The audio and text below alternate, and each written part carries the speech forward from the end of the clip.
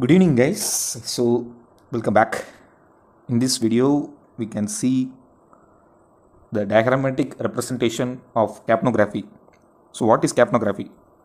Capnography is a device which is used in anesthesia to find out uh, expiratory co2 etco2 okay? So what is the use of finding this? We can see in 5 minutes.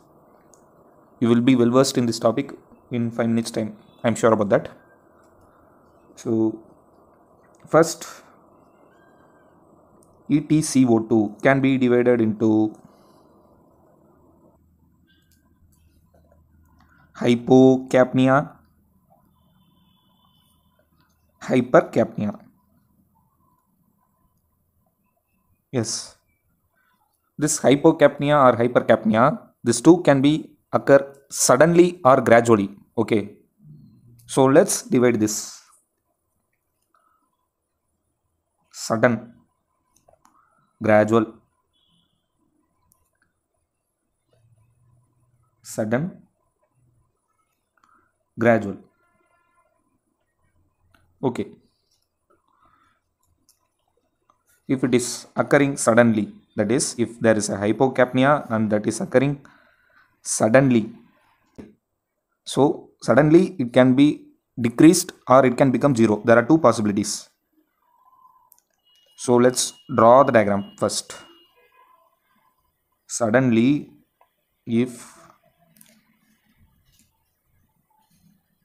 etco2 is coming like this or it has the possibility of coming to zero point.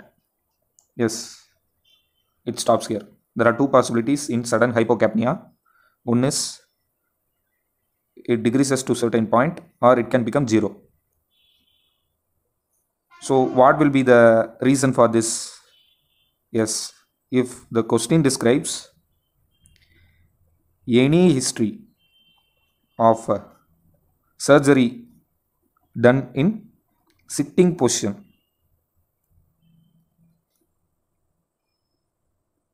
yes i hope you got the answer the answer is pulmonary embolism. Okay then what will be the answer for this? When it suddenly drops to zero that is etco2 suddenly drops to zero then means zero. Then means there is disconnection of the circuit. If there is a sudden disconnection of the circuit or there can be a possibility of sudden cardiac arrest.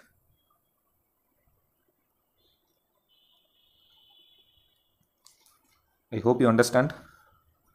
Yes. The next is what if the etco2 gradually gets reduced?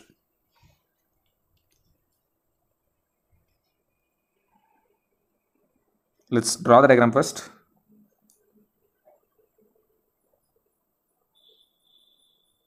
yes this is what i meant.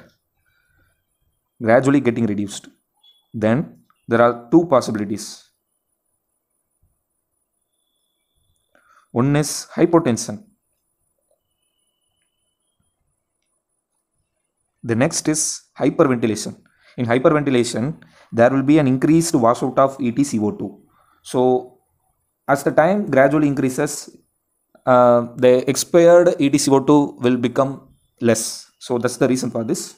So gradual decreasing. Okay. The next is gradually it becomes zero.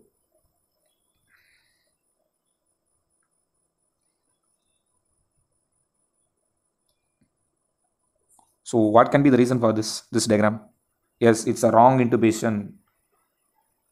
Esophageal intubation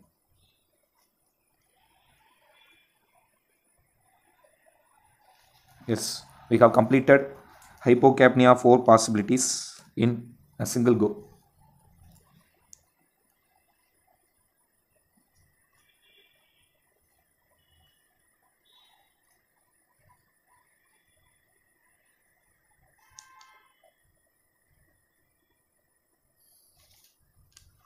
Yes. Then we're going to see hypercapnia. Okay let's uh, do this in a separate line for clear understanding. Hypercapnia. Yes already we have divided this into sudden and gradual. Yes what if there is a sudden hypercapnia in the etco2 machine.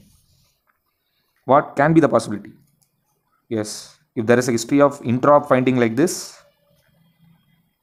the answer is i hope you got the answer. Yes malignant hyperthermia.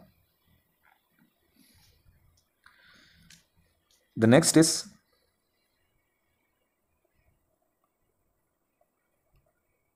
if the chart is like this suddenly it becomes hypercapnic. Yes. This occurs during cpr and this describes the return of spontaneous circulation.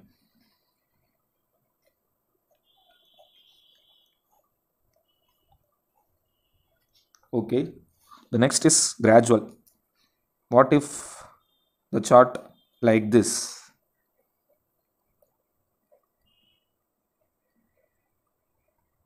yes it is gradually becoming hypercapnic.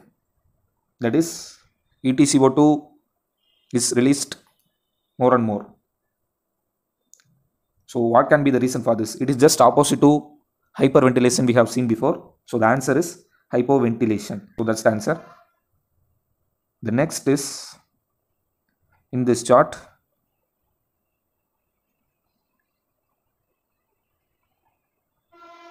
yes the graph is not touching the baseline. This means